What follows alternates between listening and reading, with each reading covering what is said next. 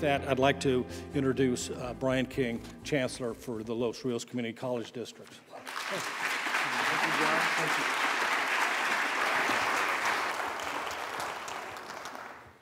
Good afternoon. It is exciting to be with you. I can't believe this is my fifth fall convocation here with you at Folsom Lake College. The years are flying by. I want to begin with some introductions. As you know, we have a convocation at all of the four Los Rios colleges each semester.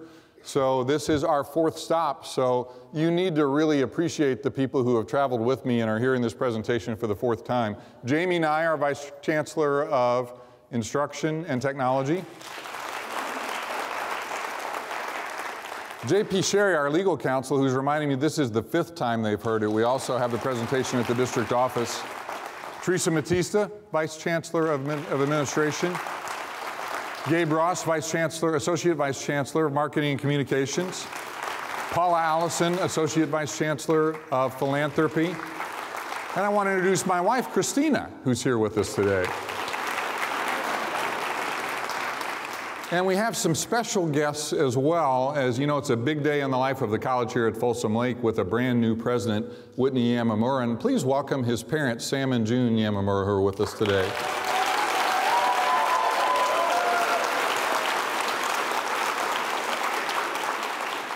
Well, you already see what the people here think of your son, and I know you're very proud, as you should be, in uh, him having the, the chance to lead the great Folsom Lake College.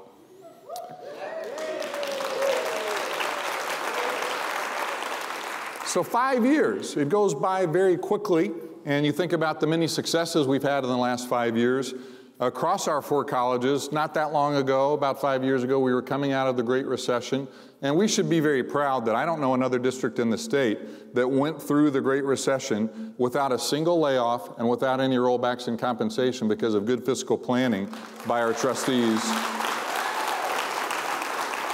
You heard from John Knight. Another one of our trustees is with us today, Robert Jones, down in front. Robert, wave to the crowd. So that great leadership has been very important in weathering the tough fiscal times. We also have a new district strategic plan, and as we see, we'll see today going through this presentation, we were anticipating the direction of our system very well in our strategic plan and other plans that have come into place. The strategic plan for Folsom Lake College, our technology plan, plans for basic skills, the Student Success Initiative, and equity plans. So much planning has taken place in the last five years. And at Folsom Lake, you think about how uh, the campus has changed here at Folsom Lake, where the tremendous athletic facility has been completed in the last five years. You are making a shift towards pathways and getting behind the transformation taking place. So many wonderful successes here at Folsom Lake College and uh, affirmation of accreditation. Everybody who was involved in accreditation, please stand up. Seven year re reaffirmation of accreditation for FLC. So it's a great foundation in the last five years, wonderful work that has been done. The next five years are going to be exciting. And to some extent, so much has happened. There's been so much change in the last five years. How many of you wish that change would slow down a little bit and that we could catch our breaths? I certainly feel that way at times. But as we prepare for the next five years, the reality is that things are going to happen very fast. And the planning that we have done, all those stacks of plans, are, are going to lead to actions that are going to transform the lives of our students throughout the region. So we've done the planning, we worked very hard, and the reason that we work so hard in establishing a great planning process is because we know what more Americans are coming to learn, the ugly reality that the gap between the rich and the poor in the United States is widening. And the most important factor to predict economic success is education. And you think around this room, how many of you have someone in your family or a friend who had just a high school degree and has done okay?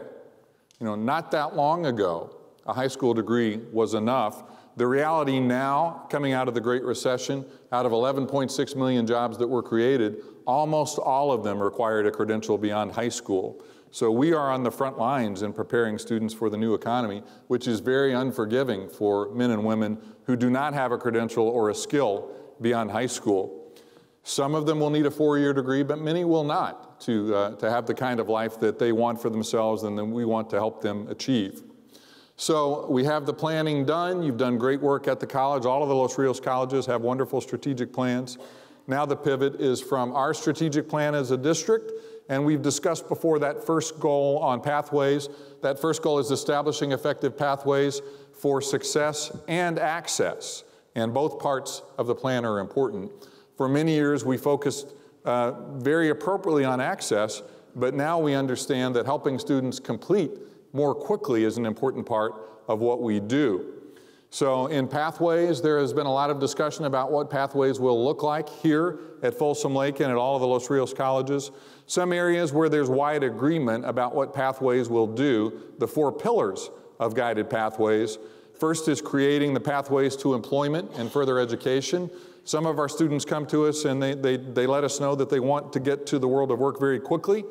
Some of our students come and they want to transfer to continue their education at a four-year college or university. So creating those pathways both to employment and also to further education are very important. We want to get students on pathways as quickly as we can. Now that doesn't mean that there's no chance for exploration for students, but if we can narrow down the range of total choices have them on a pathway moving towards their goal, it doesn't mean they're stuck on that pathway forever. If they find that their passion lies in another area, we want to move them quickly from one pathway to the other. And when they're on the right pathway, we want to be committed to keeping them on that pathway. And the fourth pillar underlines everything we do, the commitment to learning, that as a learning organization, everything we do is based on learning. So the four pillars are a really good overview of our efforts in establishing pathways. And I have said this every time to every group that we've ever talked about pathways. You are the builders of pathways for Folsom Lake College. My role as your chancellor is not to, to tell you what the pathways should look like. My job is to bring as many resources to your work and support you in any way that we can. And I think throughout our district, we understand we are a support organization to you at the college level. So we have subject matter experts here in student services and instruction. You know what's best for students. We're going to help support you in doing the work in building pathways. And our efforts are very much in alignment with what's happening at the state level in both policy and funding. Our new Chancellor, Eloy Oakley, championed $150 million to support guided pathways, one-time dollars for our state. And we anticipate uh, our share will be about 6.1 million. That's really helpful as we implement and move from planning to action in creating pathways. We also received a $2 million innovation award from the governor and the Department of Finance. Thank you for the applause. That's worth applauding. Wonderful example of partnership with all four colleges working together in a collaborative way to access funds that will help provide tools for implementing pathways and also an opportunity to extend partnerships with our K-12 partners because the pathways don't just begin at the doors of our college. We know working very closely with our high school partners and even middle school and elementary so that college-going culture is created early on. We also are the only multi-college district in California that used the institutional effectiveness process in a collaborative way where we came together again as four colleges and talked about needs we had in terms of tools to implement pathways. And I'm happy to report we not only have been awarded a million dollars, our four colleges in the district combined, the money is in the bank, so that's another million dollars to help in our efforts. Who is this man on the screen behind me? How many of you know who that is? We have a new chancellor statewide, Eloy Ortiz Oakley. He followed our own Brice Harris as chancellor, and he is off to a, a, really great start as chancellor for our system. He started around the first of the year, and as I said, uh, one of his first signature projects in the budget was the Guided Pathways dollars. So bringing $150 million into our system is a great accomplishment for a new chancellor. And a month ago, almost to the day, on July 17th, Chancellor Oakley released the strategic vision for the Community College Chancellor's Office. So we want to pay attention to this strategic vision. It will have an impact on the direction of our system and also the legislators and how they look at supporting our work. So how many of you have had a chance to look at the strategic vision? We'll share the link with you to the document next week in our follow-up uh, email about convocation, so you'll have a chance to drill down. We're going to talk only about the first of the six goals. I'm, i was really pleased to see that the goals in the, the strategic vision are very much in alignment with our strategic goals. The one on the top is degrees, certificates, credentials. And I have already noted that not all of our students come seeking a degree or a credential, but for those who do, we want to do everything we can to support them. And the majority of our students tell us that they want either a credential or to transfer. We certainly have students who are coming for uh, upskill classes to help them in their current job and not a degree. And we have members of our community who are coming to learn more about the world. And all of those are parts of our mission. But in, with respect to degrees and certificates, how, what percentage increase do you think Chancellor Oakley is hoping that we can accomplish in five years, understanding that frequently our progress is incremental, where if we move a percentage point or two, that can be hard. How, how much do you think he is challenging us to increase our completion rate over five years? 20% over five years. 50 would be a better goal. The chancellor's goal in the strategic vision is 20, and we could have the discussion what is the right goal? But 20% is Chancellor Oakley's goal in the strategic vision. To get a sense of what that would mean for our four colleges the last two years, we've had about 11,000 credentials. A 20% increase over a five year period would mean about 2,000 more certificates and degrees. So it's certainly ambitious. It's also very possible Will we have that sort of change in outcomes without changing how we do things? And the answer is no, that if we're going to have different outcomes, if we keep doing what we're doing, we'll probably have outcomes similar to what we're getting. So there's great energy, I can feel it here in the room, about looking at doing things differently, understanding that there's an important reason to consider doing things differently. And the policy trend is already moving in the direction to have funding based not just on enrollment, not just on access, but also on outcomes and how our students do. There are already examples of funding that is based on outcomes in the student success, the Triple SP funds, and also in the Strong Workforce Program. So we already have some funds that are linked to things other than enrollment.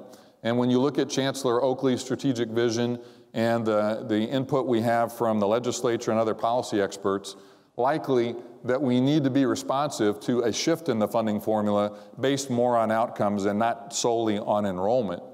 So uh, Chancellor Oakley has a workforce in place, a work group in place looking at the funding formula.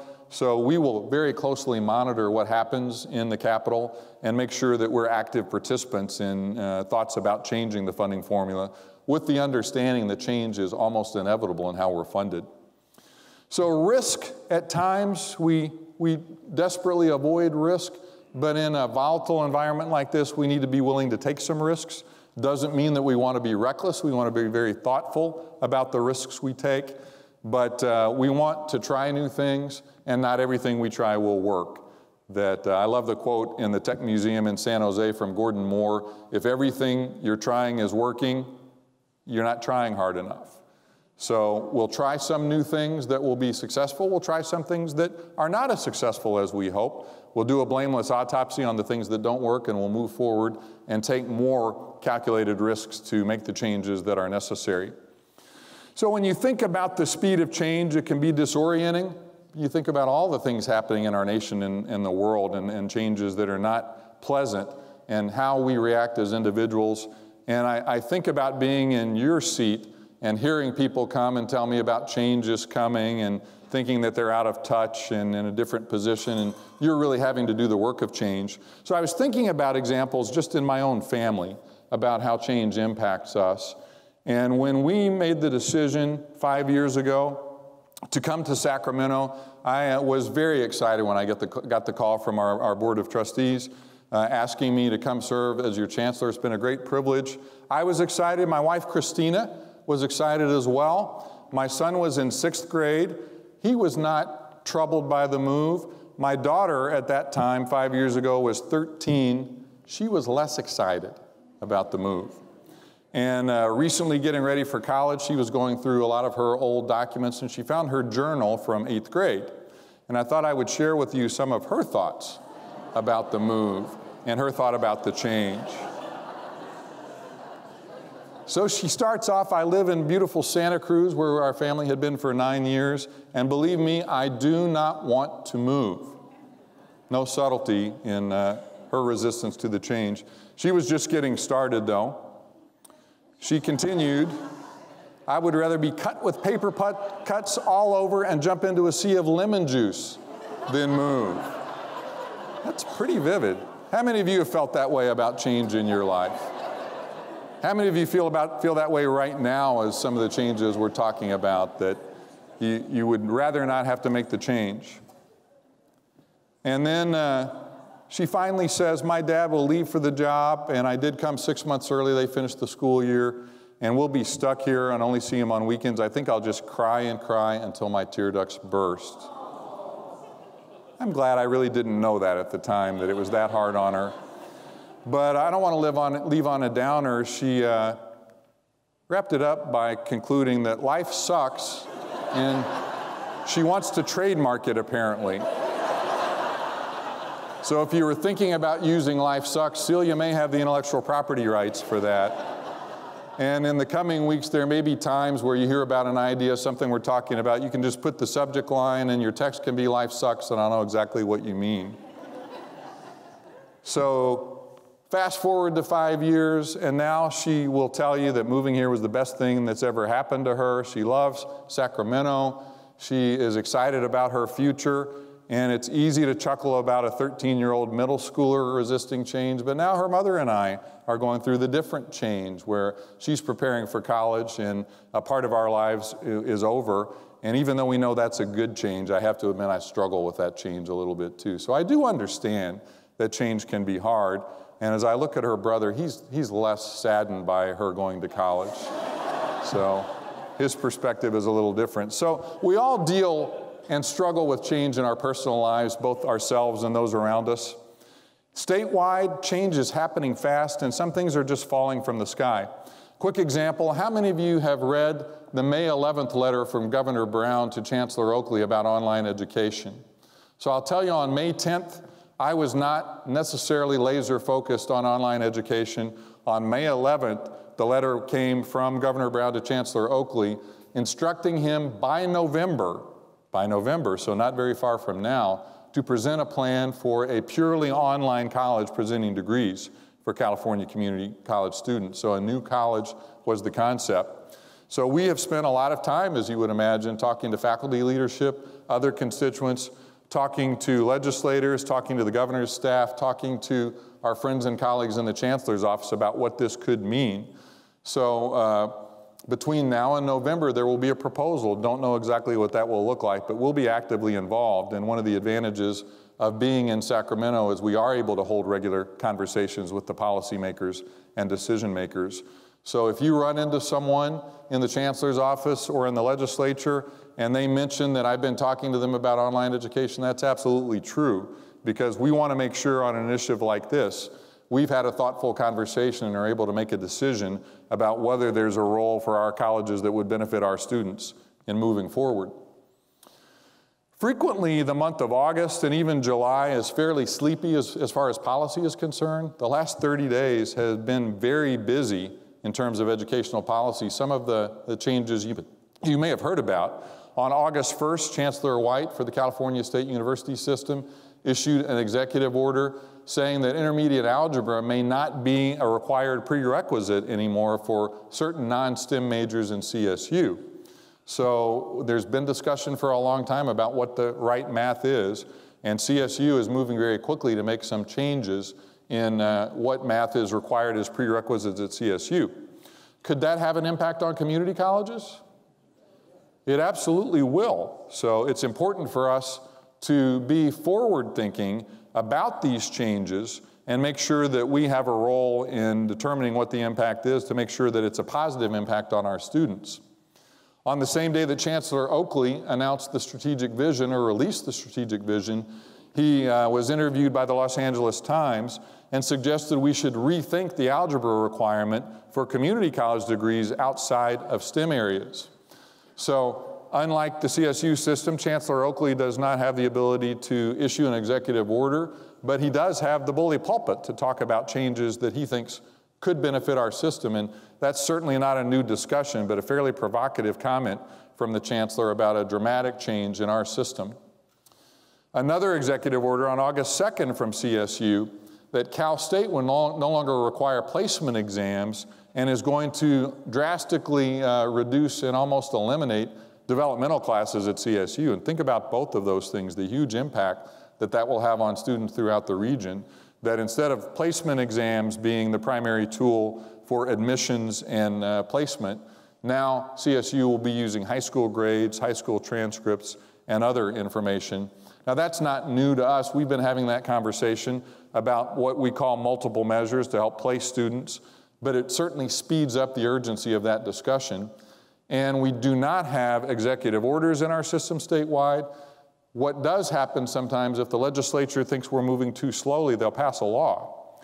An example of that concern in the legislature is AB 705 that would require community colleges to use high school placement data in, uh, in addition to placement exams and sometimes in the place of placement exams, and also would shift the burden to community colleges to prove that assignment to a developmental class was necessary.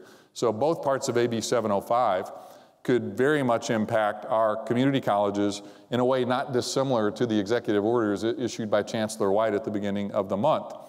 And AB 705 is rippling through not just policymakers. Last week I got an email from a mother who had read about the executive orders in AB 705. Her son is a recent high school graduate. Like a lot of our students, he was a good student, but maybe not a great student in high school. GPA of about 2.9, so he did his work. He graduated on time. Came to one of our colleges, took the placement test, and has been placed three levels down in math and two levels below college level, uh, college uh, English. So, what looked like a two year path for him now is a multi year path beyond that. And I share that story with you not to suggest that he and students like him automatically should be placed in college level classes, but that we need to have a very thorough self examination about the way that we do the sorting now. Is it working in the interest of students? And what are the ways that we can improve a process? Because helping students to completion is very, very important. And I, am happy to share with you one of many examples of our faculty and staff coming together to continue a robust dialogue about these changes. September 29th, Friday, September 29th, CRC is hosting a faculty discussion and wanted me to invite all of our college faculty and staff to come to participate at CRC in uh, room 104 in the LRC. And my hope would be that so many of you will want to attend this discussion that we'll have to find a bigger room because I think the discussion is that important and remaining engaged at the faculty and staff level is crucial. So change is happening fast. Standing still is not the best approach. In a time of rapid change, standing still is the most dangerous course of action. That's not what we're doing at Folsom Lake College. That's not what our four colleges in the Los Rios district are doing. We are moving. We're being very thoughtful about implementing our strategic plan. And when you think about pathways, two other ways to improve pathways are removing barriers and redesigning the experience for our students. So, two barriers I want to share with you today the cost barrier. Now, how many of you, your initial reaction is we don't have a cost issue because community colleges are very affordable? Hold that thought for a second. And uh, a second challenge is navigating a challenging system. Now, I, like you, have built the system that our students are navigating now through the years. So, acknowledging that we could use better tools to improve the system is not a criticism of us, it's just an acknowledgement that the system we've built can be bulky for students. And there are tools and thought processes that can, can very much enhance the experience for our students. So, we're going to talk about myths and facts. How many of you have watched the TV show Mythbusters? Do we have some fans? Anybody have a favorite episode of Mythbusters? There is a lot of objects being blown up in Mythbusters. So they, they tested the myth could the Batmobile at high speeds turn a corner as quickly as it did in the movies? What do you think the answer is? The answer is no, that's a myth. They tested the myth through, I, I looked online, the, the number one favorite episode from those who voted.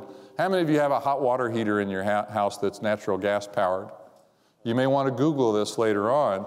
The question was Is it a myth that a hot water heater could blow through the roof of a house? Is that a myth? That's a fact. It's explosively true. So the hot water heater went 300 feet in the air. So we're going to take the Mythbusters approach on the cost barrier. So the first question Myth or fact, our students pay the lowest fees for higher education in the United States. How many of you think that's a fact? How many of you think that's a myth? It's actually a fact. Our fees are the lowest in the United States by a wide margin.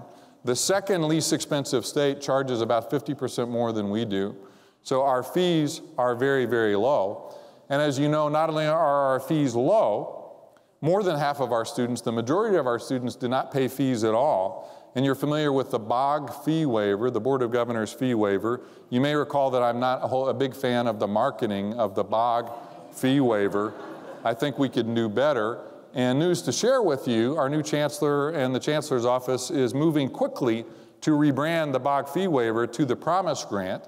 We could discuss for a while whether we think that's the right name, whether there's a better name, but I think it is indicative of the approach of our new chancellor. This will happen fairly quickly, and the Board of Governors will vote in September about rebranding the uh, Board of Governors fee waiver, the BOG fee waiver, to the Promise Grant. So, first question Are our fees the lowest? They absolutely are. We have fewer students paying fees than any of the other states as well. So, our fees are low.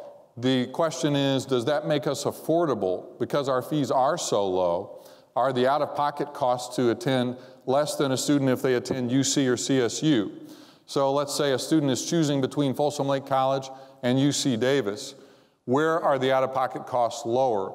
How many of you think that our out of pocket costs are lower to an independent low income student choosing between UC Davis and Folsom Lake? How many of you think our costs are lower? Okay, how many of you think that UC Davis is lower in terms of out of pocket? It's a myth that we have the lower total cost, and, and let's break down why. If you want to drill down deeply, there's a, a publication called On the Verge, printed by, published by the Institute for College Access and Success, TICAS, based in the East Bay in Oakland, talking about affordability. So even if you're in the back of the room, it doesn't matter. The little piece of pie is fees. So $1,400 in fees. We know that most of our students have a fee waiver.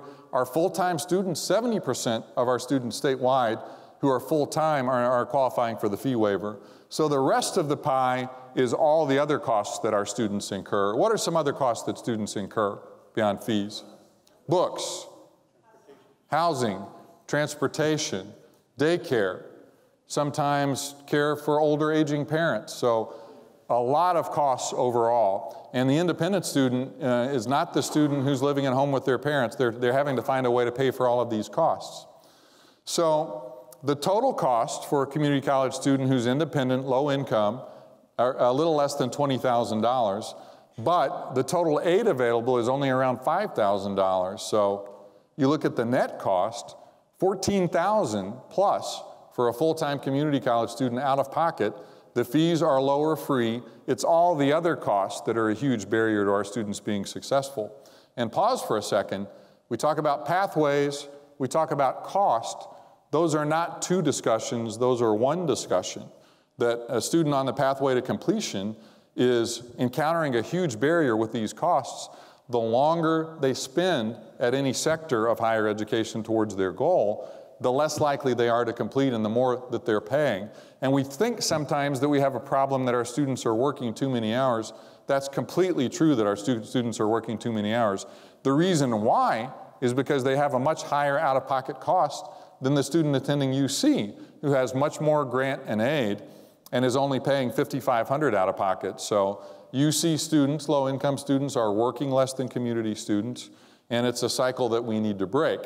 So you may want to say to me, and you would be correct, my job is to change the policy, increase the number of Cal Grants that our students receive. I agree completely. I have advocated in the legislature. I will and will continue to advocate for more aid.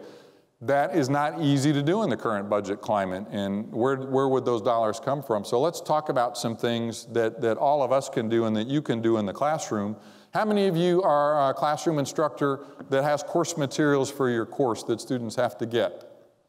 How many of you require some materials? So the average student nationally is spending about 1200 bucks on those course materials. I'm not saying that we haven't cared forever about course materials, but I wonder if the fact that our fees are so low have prompted us not to think as deeply as we need to about the cost of course materials. Because if, if we're thinking we're a very low income, uh, a very low cost opportunity for low income students, maybe we haven't thought as deeply as we need to about what that $1,200 cost means to a student who is very much on the margins.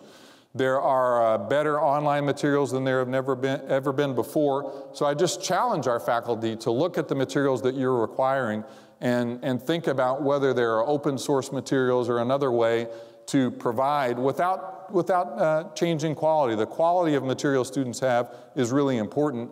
But also keep in mind, uh, two thirds of students are not buying those materials no, no matter how good they are because of cost.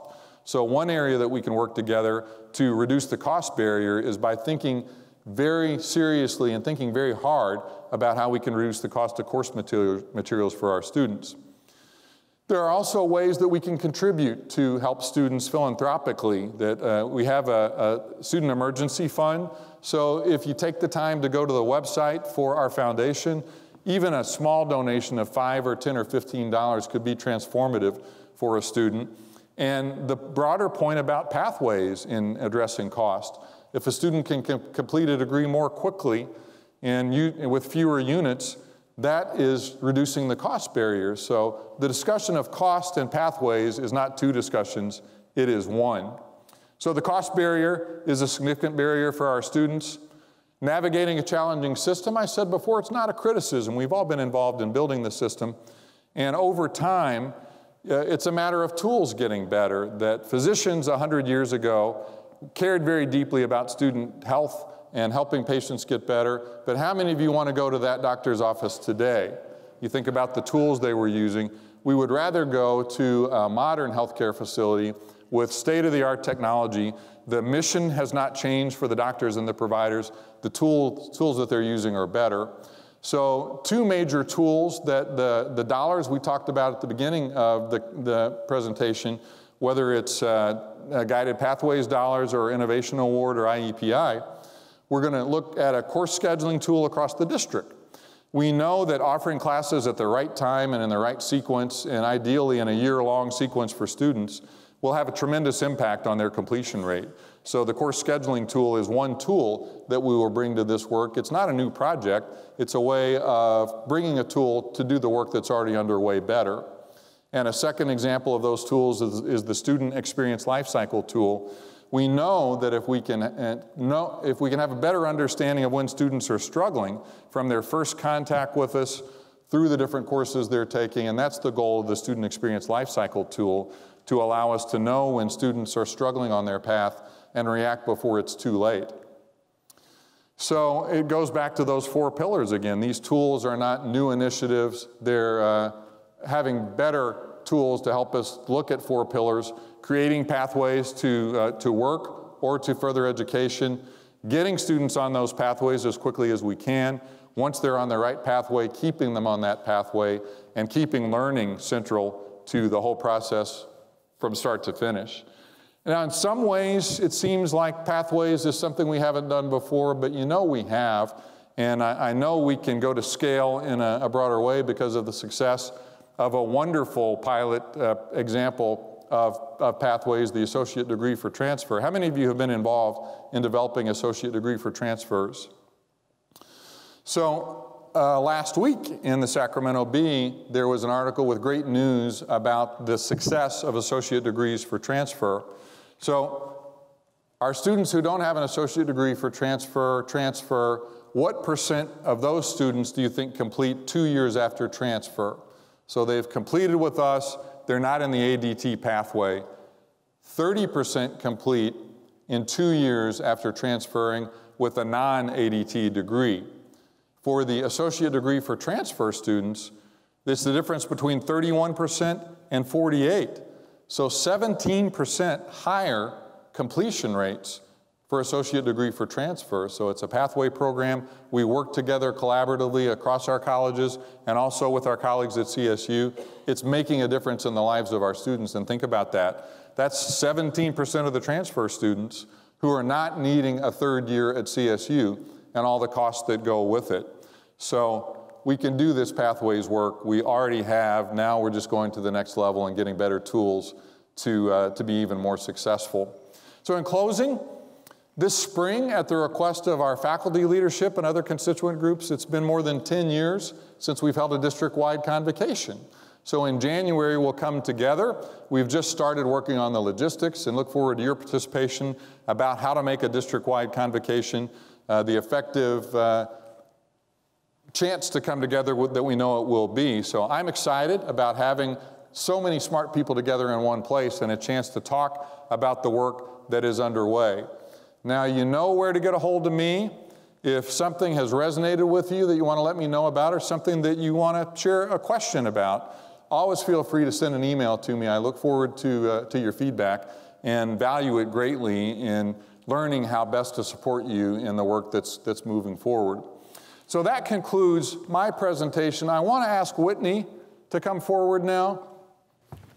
I'm going to tell the people here something that they already know. But first of all, I want the search and selection committee that was involved in identifying Whitney to stand so we can thank everyone who was involved in the interviews. And if you went to thank an you. impressions group, they did a great job. And as you get acquainted with Whitney, he's worked at three of our four colleges before, so he understands how unique the cultures are at the different places. I just can't tell you how excited I am to have Whitney as the new president at Folsom Lake. And I also want to take this opportunity before passing the baton to thank Kathleen Kirkland for her tremendous service as interim. Kathleen.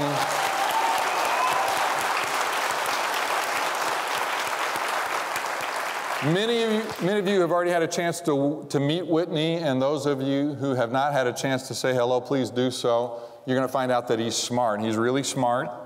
He works really hard. He loves this place. I think the, the committee understood that he wants to be here and wants to be here for a long time. He cares deeply about our students. And uh, he is going to fight for Folsom Lake and to make sure that you have the resources you need and he also understands that there are a lot of instances where working together for our four colleges is very much in the interest of our students, that those two things are not mutually exclusive, that you can be an advocate for the college and also a champion of students and, and collaboration among our four colleges. So nobody's more excited than I am. I want to welcome Whitney, and please join me once again in welcoming your new president, Whitney Yamamura. Thank you, Brian. That's very kind of you.